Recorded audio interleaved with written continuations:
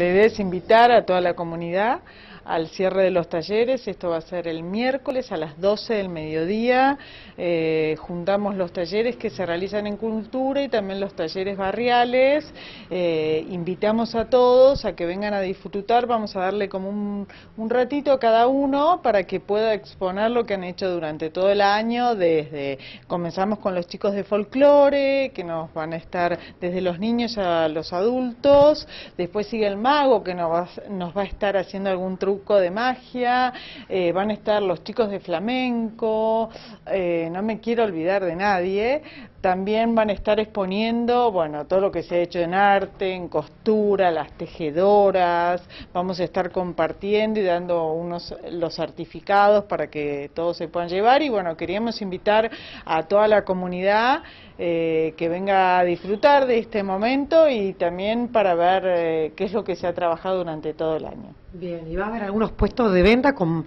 producciones de los talleres? ¿Cómo va a ser? Y sí, las tejedoras siempre están acá exponiendo y vendiendo todo lo que hacen y bueno, ¿por qué no? El que quiera vender lo que ha realizado los chicos de cerámica por ahí, que han realizado durante el año,